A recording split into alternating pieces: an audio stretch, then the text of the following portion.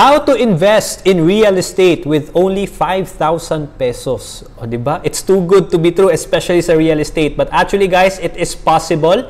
And kaning product na ni, kaning investment na ni, is tawag ani is REITs. So this is quite relatively new in the Philippines. Kay ang first na to na REIT is A-REIT which is nag-launch around August 2020.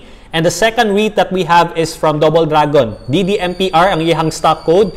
And nag-launch siya around March 2021 if I'm not mistaken. But sa gawa, sa Singapore, sa US, medyo taod-taod na po ang REITs and that is a privilege sa tuwa na part na naanatay REITs sa Pilipinas. At least kabalo mo na REITs na siya. And in fact, uh, that is an online program that we also have which you can also check it out in the description or comment section. Now, ang pangutana magud sa mga tao is, unsaon man, how do you invest in this thing? Okay? Well, there are four steps na kailangan na to siya himuon o amo ang ginahimo in terms of investing in REITs. First step is kailangan naa kay stock brokerage account.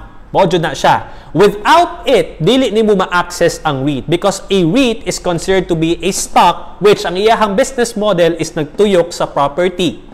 And you can earn money pinaagi sa capital gain and cash flow. So that's the beauty of it. So it's like really investing in real estate. It's just that it's more accessible and mas barato siya and you don't need to manage it. The second thing is, kailangan punduhan na to o kwarta ang atuang account. It's like opening a bank account, di ba? Magbutang kag kwarta dito and makita nimo sa imong passbook or online transactions kung pila na ba ang imuhang kandida na na dito. So it's the same thing with our stock brokerage account. Pag punduhan na to siya kwarta, at least na kay funds to use para ika-invest sa REIT.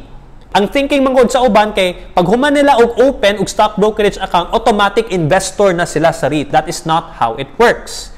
You need to fund it and use that fund to invest or buy that certain REIT. The third step is you need to research before investing. Ani manggod, sa pagkakaroon sa Pilipinas natay duha ka book REITs, di ba?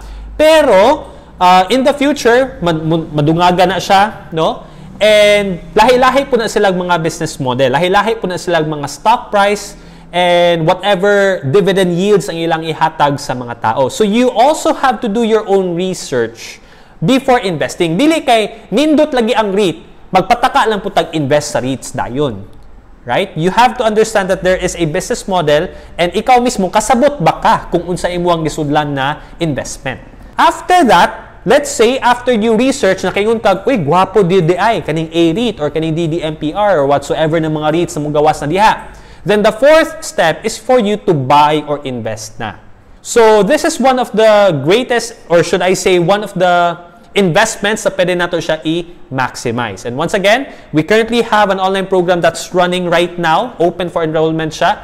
And you can check the link in the description or sa comment section as well before it closes. Now, question of the day is this. Para sa inyo ha, unsa ba inyong pananaw about REITs? Do you find it a good investment?